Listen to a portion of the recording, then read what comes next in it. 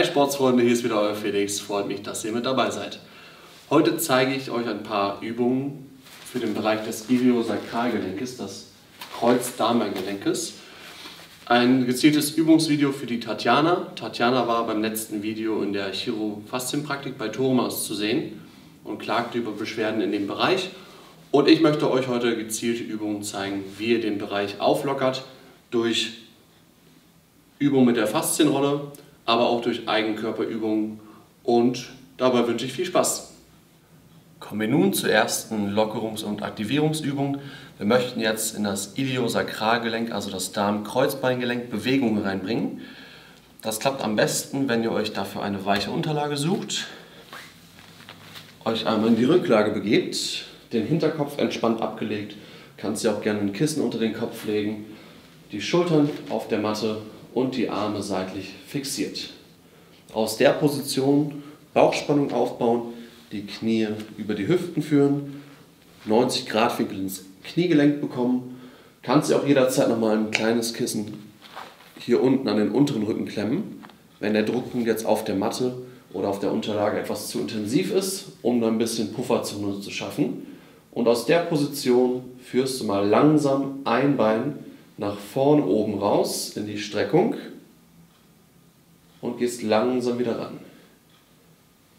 Dann wechselst du das Bein nach vorn oben raus und wieder tief. Fühlt sich das Ganze gut an für den unteren Rücken, kannst du gerne auch mal das Bein, wenn es vorne ist, etwas tiefer absenken und dann wieder ranziehen. Langes Bein, erst tief führen und dann wieder ranziehen. Optional weiter oben bleiben mit den Fußspitzen Richtung Decke Steigerungspotenzial, aber immer nach unten raus, je tiefer, desto mehr Bauchspannung musst du auch aufbauen und desto mehr kommst du in Bewegung im Iliosakralgelenk. Erste Bewegung und für die zweite Bewegung hältst du die Knie wieder über den Hüften und pendelst die Knie, äh, lässt die Knie kreisen im Uhrzeigersinn.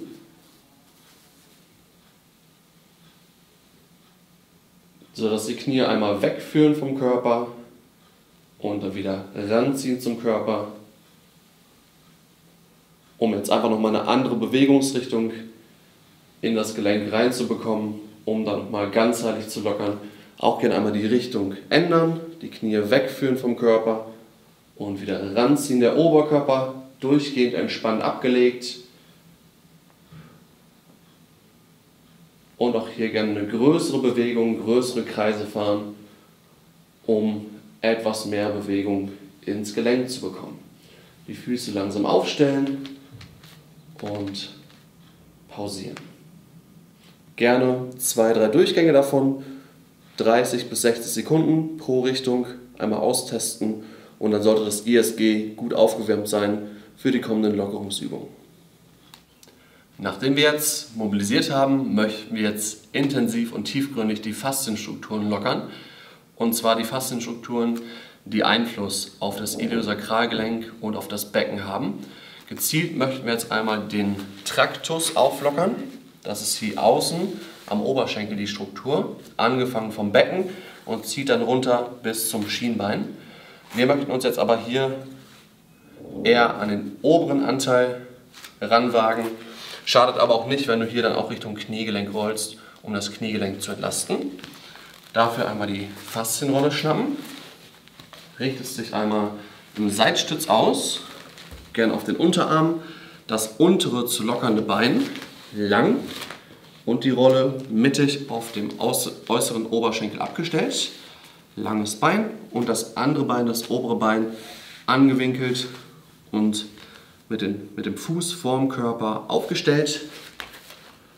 Und dann rollst du erstmal großflächig die komplette Faszienstruktur entlang des äußeren Oberschenkels von der Hüfte langsam in Richtung Knieaußenseite und dann langsam wieder hoch.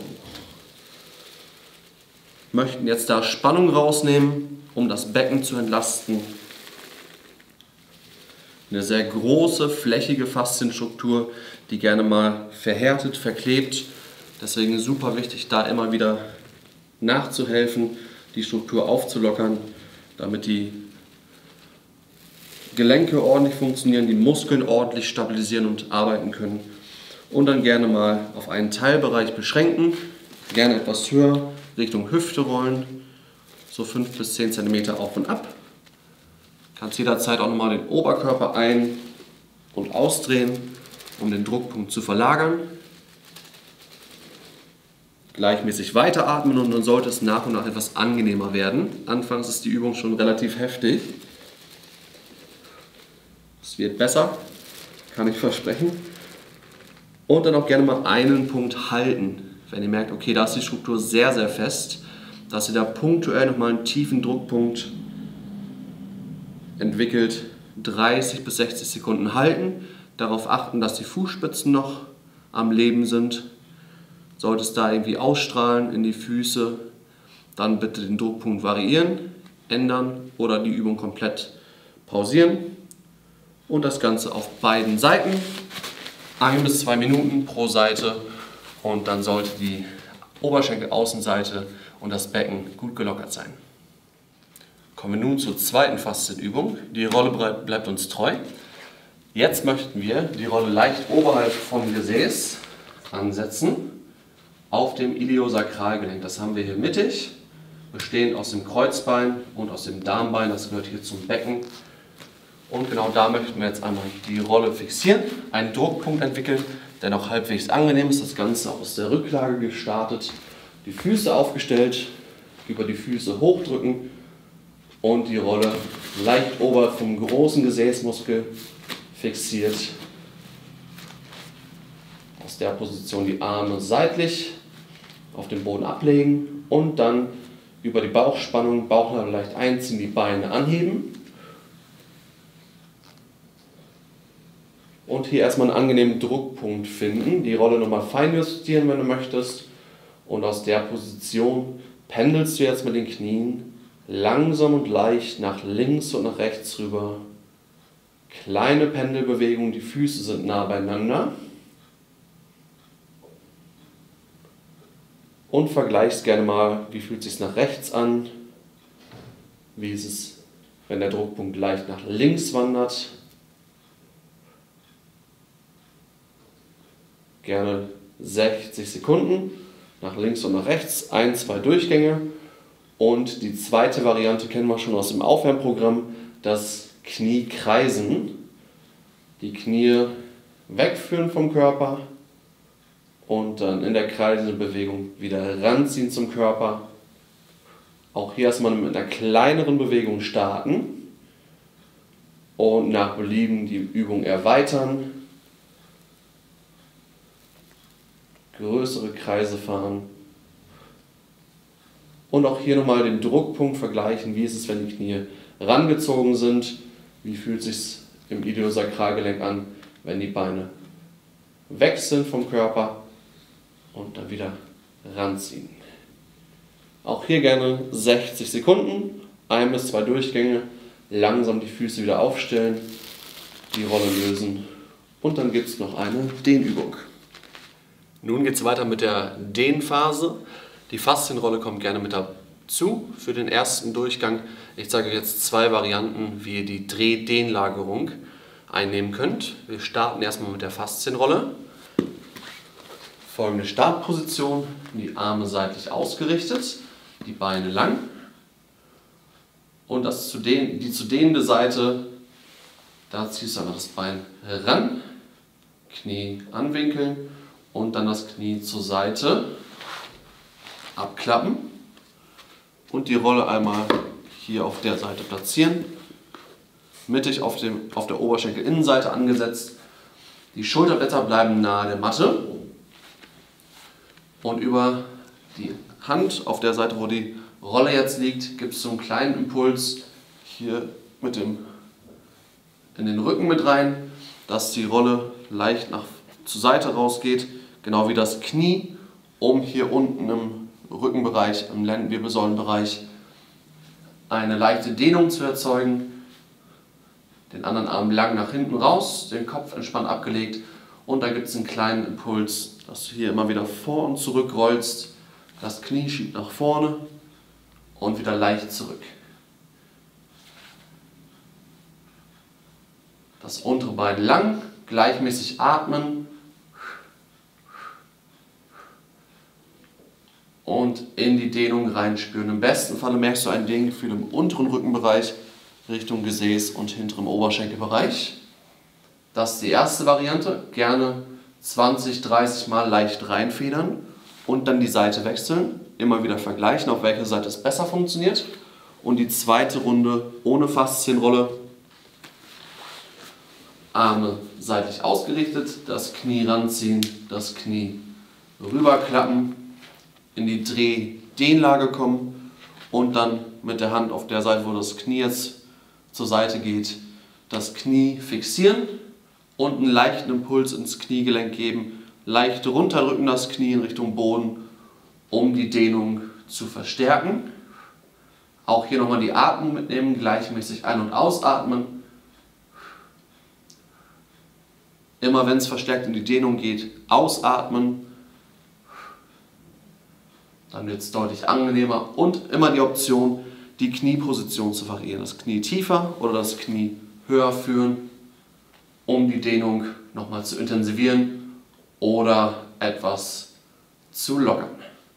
Auch hier 20, 30 Mal federn, die Seite wechseln, gerne zwei Durchgänge und dann sehen wir uns gleich im Stand für die letzte Übung. Kommen wir nun zum Abschluss nochmal zu einer Eigenkörperwahrnehmungsübung. Und zwar möchten wir jetzt schauen, dass wir das Gewicht gleichmäßig verteilen auf den linken und auf den rechten Fuß. Alltäglich ist es so, dass wir da eine dominante Seite haben. Wir möchten jetzt aber gezielt nochmal darauf achten, dass das Gewicht gleichmäßig verteilt ist. Und dafür starten wir einmal in einem festen Stand, die Füße hüftbreit auseinander. Schau, dass die Füße auf einer Höhe stehen, den Oberkörper aufrichten, die Knie gerne leicht in der Beugung und aus der Position den Oberkörper langsam nach vorne verlagern und dann merkt ihr ab einer gewissen Oberkörperposition, dass die Fußspitzen sich in den Boden krallen, um das Gleichgewicht zu fixieren. Ich mache es einmal seitlich vor. Aufrechter Stand, die Hände gerne in die Hüften reinlegen, Füße passend ausrichten, dass die gleiche Ausgangsposition herrscht, rechter und linker Fuß und dann geht der Oberkörper langsam nach vorne. Und dann solltest du auch schon merken, wie die Fußspitzen auf Spannung kommen, um dich im Boden zu fixieren. Und dann probierst du mal, in den Körper hineinzuspüren. Auf welchem Bein habt ihr jetzt mehr Belastung? Ist es eher das rechte Bein oder das linke Bein? Und dann könnt ihr über die Hüftstellung dagegen ansteuern. Wenn ihr jetzt merkt, dass der rechte Fuß deutlich mehr belastet wird, dann die rechte Hüfte leicht zurückschieben und die linke Hüfte leicht nach vorne schieben, dass ihr, wie gesagt, eine gleichbleibende Belastung habt, links und rechts. Ich mache es noch einmal von vorne vor. Wenn ihr jetzt merkt, okay, der rechte Fuß, der ist jetzt die dominante, die dominante Komponente, darauf dann nochmal achten, die Hüfte leicht zurückzuschieben und die Belastung etwas mehr auf das linke Bein zu verteilen. Auch da nochmal schauen, dass jetzt nicht das linke Bein die ganze Haltarbeit übernimmt, sondern dass sich das ungefähr ausgleicht. Das als Wahrnehmungsübung nochmal zum Abschluss. Könnt ihr gerne jederzeit praktizieren, auch gerne vor und nach den Übungen, die ich jetzt gezeigt habe um da mal zu schauen, ob die Übungen schon was bezweckt haben, gerade was dann die Hüftstellung und die Beckenstellung angeht. Ich wünsche euch viel Spaß mit den Übungen, testet das gerne mal aus und über ein Feedback in den Kommentaren würden wir uns sehr freuen. Natürlich auch immer über einen Daumen nach oben. Und dann würde ich sagen, bis dahin, bleibt in Bewegung und bis zum nächsten Mal. Euer Felix. Ciao.